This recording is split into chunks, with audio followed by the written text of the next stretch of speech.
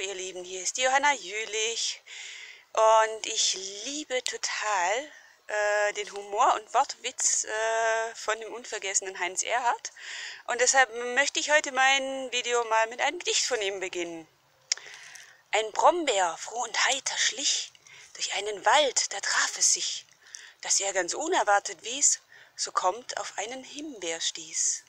Der Himbeer rief vor Schrecken rot, der grüne Stachelbär ist tot. Am eigenen Stachel starb er eben. Tja, sprach der Brombeer, das soll's geben. Und trottete, nun nicht mehr heiter, weiter. Doch als den Toten er nach Stunden gesund und munter vorgefunden, kann man wohl zweifelsohne meinen, er hat der andere Bär dem einen nen Bären aufgebunden. So, und jetzt kommt meine Frage an dich. Wie viele Bären hast du dir schon aufbinden lassen? Was hast du alles geglaubt, was überhaupt nicht wahr ist? Und hast es für dich real gemacht? Und äh, ja, wie viel hast du dir nicht erlaubt, weil du Dinge geglaubt hast, die man dir gesagt hat, was man darf, was man nicht darf, wie man sein soll, wie man nicht sein soll.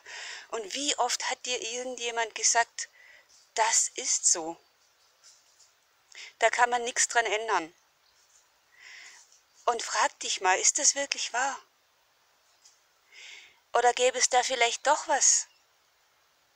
Eine andere Möglichkeit oder ganz viele andere Möglichkeiten vielleicht sogar, wenn du nicht an diesen Bären glauben würdest, dass man da nichts ändern kann. Wie viele Bären hast du dir schon aufbinden lassen?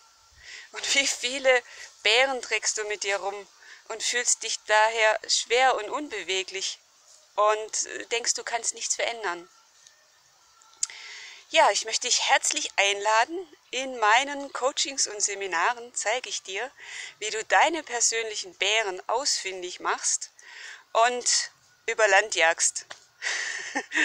und was könnte alles möglich sein für dich, ohne die ganzen Bären, die du irgendjemandem abgekauft hast.